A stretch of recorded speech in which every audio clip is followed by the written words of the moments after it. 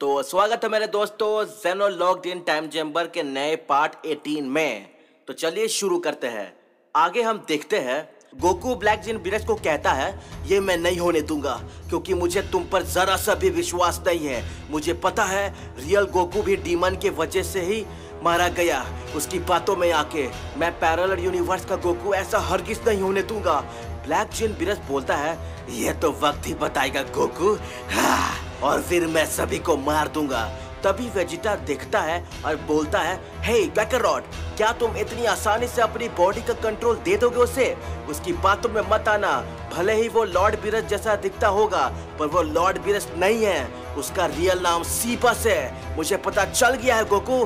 Grand priest ने हमें बताया है। Seventh member of the demon king, जो कि नरक से आया है। मुझे ग्रैंड प्रिस्ट ने ये सब बताया। एक्चुअली हमारी पर्सनालिटी का हर एक नेगेटिव वर्जन होता है। और ये नेगेटिव रूप लॉर्ड बीरस का है। जिससे संभल के रहना होगा तुम्हें, गोकू। जेनो समा भी गोकू को सचेत करते हैं और बोलते हैं, तुम्हें अपने इमोशंस पर कंट्रोल रखना होगा, गोकू। अगर जरा सा भी तुमने अपने अंदर बदले की भावना उत्पन्न की तो सीपस तुम पर हावी हो जाएगा। तभी ग्रैंड प्रिस्ट और जारामा आपस में लड़ने लगते हैं। हम देखते हैं धीरे धीरे ग्रैंड प्रिंस जारामा और आर्कन पर भारी पड़ने लगते हैं। आर्कन ये देख के हैरान हो जाता है और बोलता है, ये कैसे हो सकता है? ग्रैंड प्रिस्ट हम पर भारी कैसे पड़ सकता है? पिछली बार तो हमने इसे आसानी से धूल चटा दिया था। ग्रैंड प्रिस्ट बोलते हैं, समय सबका बदलता है डीमन डीमंस वो समय तुम्हारा था और आज का समय मेरा है। तुम चाहे कुछ भी कर लो, तुम मुझे हरा नहीं पाओगे, समझे? आर्कोन को बहुत गुस्सा आता है। वो बोलता है, लगता है अब मुझे अपनी फुल पावर यूज़ करना ही होगा और इस नमूने को उसकी औकात दिखानी होगी। हम देखते हैं आल्कोन और जारमा अपनी ताकत को बढ़ाने लगते हैं। उन्हें देख ग्रैंड प्रिस्ट भी अपनी ताकत को एक्सट्रीम लेवल पे ले जाते हैं। दोनों के बीच में घमासान लड़ाई होती है। उनकी लड़ाई की एनर्जी से आसपास के प्लैनेट तबाह होने लगते हैं। इतना मैसिव लेवल पे डिस्ट्रक्शन होता है। लेकिन ग्रैंड प्रिस्ट आसानी से दोनों टीम्स पर भारी पड़ते हैं। आर्कन ये देख के बौखला जाता है। आखिर ये कैसे हो सकता है? ग्रैंड प्रिस्ट हम सब पर भारी कैसे पड़ सकता है? जबकि हम अपने सारी फुल पावर को यूज़ कर रहे हैं। क्या है? अगर ऐसा ही चलता रहा तो हम मारे जाएँगे। ग्रैंड प्रिस्ट के हाथों। ये नहीं हो सकता है। ग्रैंड प्रिस्ट फिर बोलते हैं, मुझे पता है यार कौन, तुम मेरी ताकत को देख के पगला गए हो और सोच नहीं पा रहे हो कि मैं इतना ताकतवर कैसे बन गया हूँ। सुनो, मैं बताता हूँ।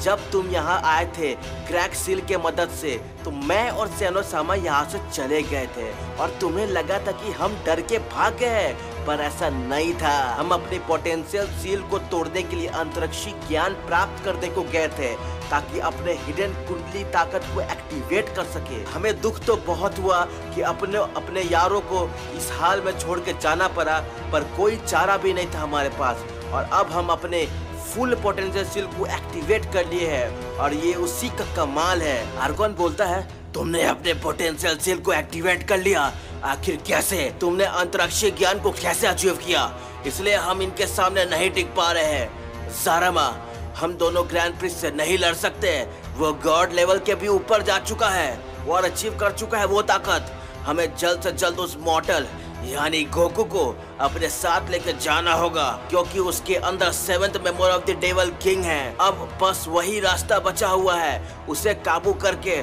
हम भी seven member of the demon king बन जाएँगे और अपनी आर्मी को इस यूनिवर्स में ला के हाकार मचा देंगे। सारमा बोलता है, आखिर ये होगा कैसे?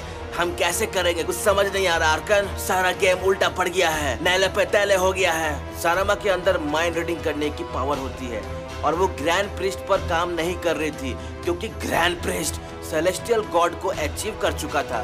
तो सारामा फिर गोकू की तरफ़ देखता है और गोकू के पास्ट के बारे में सब कुछ जान जाता है। फिर सारामा गोकू को ट्रिगर करता है ताकि उसके अंदर सी बस डीमन किंग उस पर हावी हो जाए।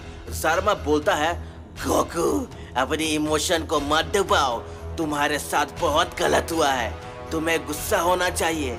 चिल्लाओ गोकू सारमा बहुत ही अजीबो गरीब बातें करता है।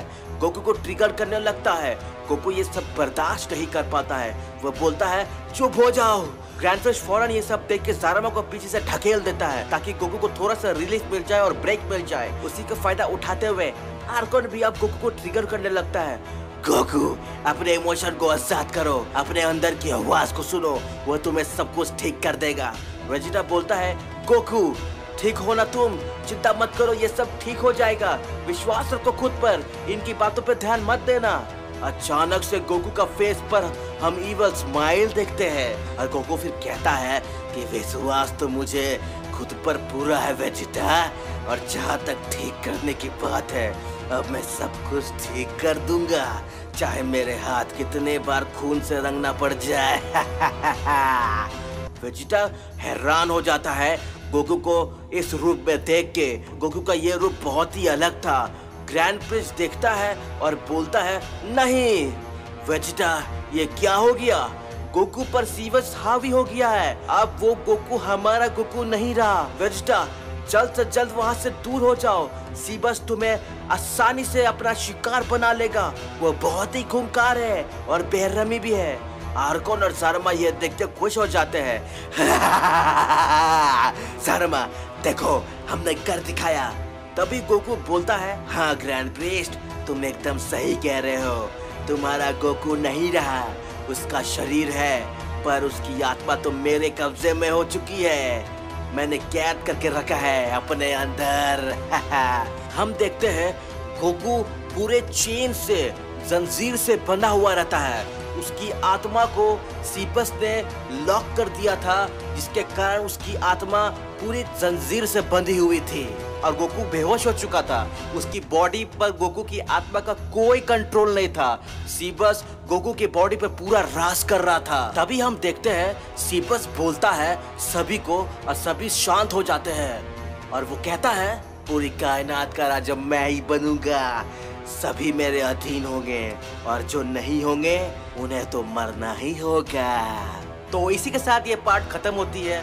नेक्स्ट पार्ट यानी पार्ट 19 का इंतज़ार करें। मिलते हैं नेक्स्ट वीडियो में। तब तक के लिए शुक्रिया एंड गुड बाय